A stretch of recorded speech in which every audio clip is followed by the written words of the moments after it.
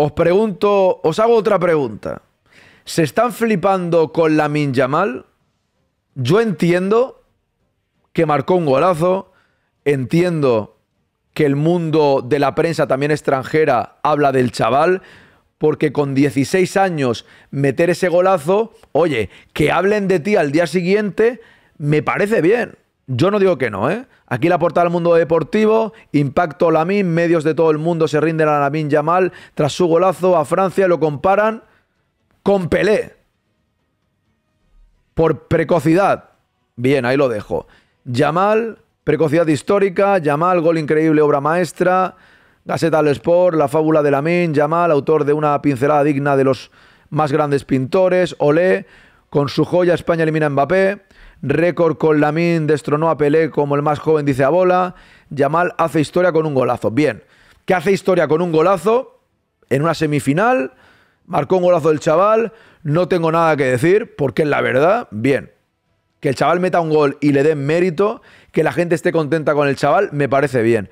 Pero yo pregunto si se han flipado con la historia. Crack mundial. Lamina aspira a ser el mejor jugador de la Eurocopa con tan solo 16 años y su actuación ante Francia impacta a nivel internacional. El Barça le tiene bien atado hasta 2030 con una cláusula de mil millones, pero no descartan mejorarle el contrato. Bien.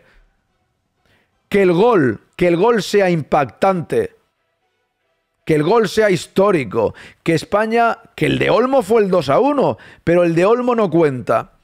Que es el mejor jugador de la Eurocopa directamente es mentira. ¿Eh?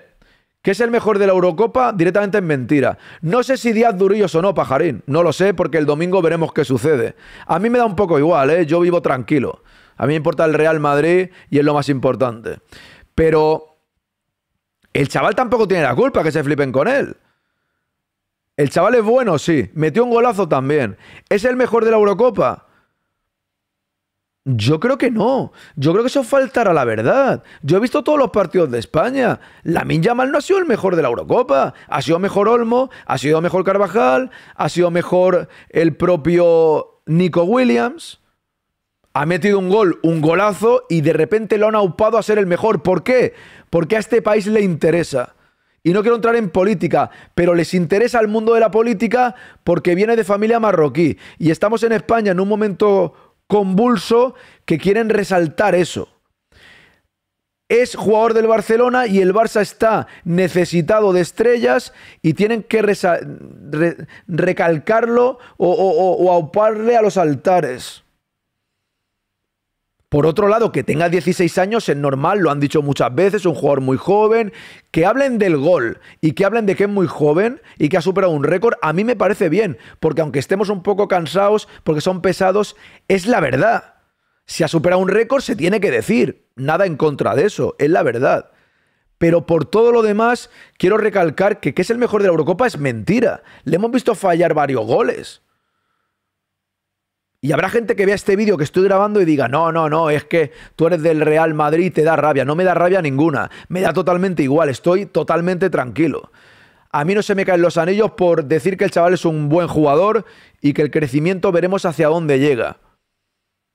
Y que den la matraca ahora los culés están en su momento de gloria. Eso sí, con el Barça no ha ganado nada. Lo ha ganado y con la selección tampoco. Pero sus mejores goles han sido con la selección. Entonces, que recalquen lo de el gol siendo tan joven y que ha sido un gol importante, bien. Que digan que es el mejor de la Eurocopa en esta portada, directamente es mentira. Hay muchos jugadores de España por encima de él en esta Eurocopa. Y es la realidad. Es la realidad. Si fuese el mejor de la Eurocopa, yo lo reconocería. Pero no es cierto.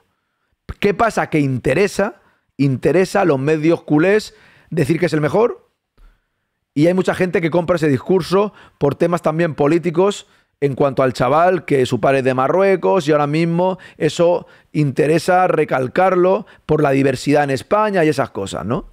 Yo ahí no me meto, ¿eh? Simplemente digo que interesa. Ya está, solamente digo eso. No entro en profundidad. Y así está la cosa. Pero ha metido un gol, o sea, se estaba acabando la Eurocopa y no estaba metiendo gol, no estaba haciendo nada. Y ha metido un zurriagazo tremendo, un golazo, un golazo.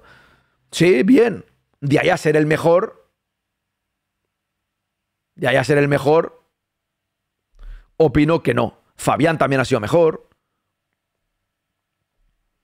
Yo estoy tranquilo, Calisto, muy tranquilo. Solamente quiero comentar, solo quiero comentar lo que hay.